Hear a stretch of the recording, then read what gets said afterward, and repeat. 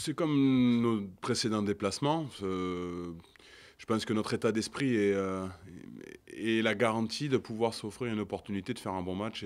Et, quand on dit faire un bon match, c'est évidemment peut-être de gagner.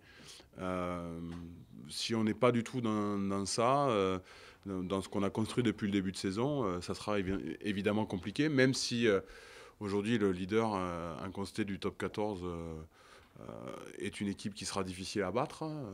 Il faut absolument, et puis pour qu'on soit, comme on l'a toujours dit, être une équipe respectée, une équipe respectable, d'être euh, d'être consistant, performant euh, dans ces secteurs-là pour, voilà, pour s'offrir au, moins l'opportunité de peut-être d'accrocher un bonus, peut-être d'accrocher une victoire, mais voilà, d'être dans les clous tout simplement.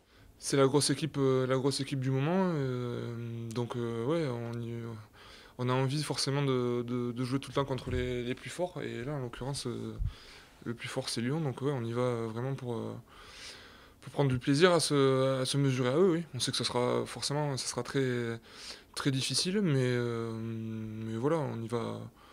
On ne nous en voudra pas si, on, le, perd au final, celui-ci, d'un côté. Donc, on, voilà, on va y aller.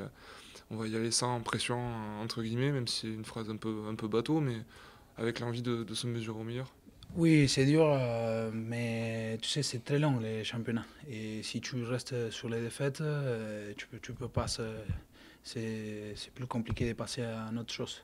Du coup, on a senti vraiment dimanche la défaite, mais là, on est vraiment euh, en train de, sortir à, à Lyon et faire les meilleures prestations possibles.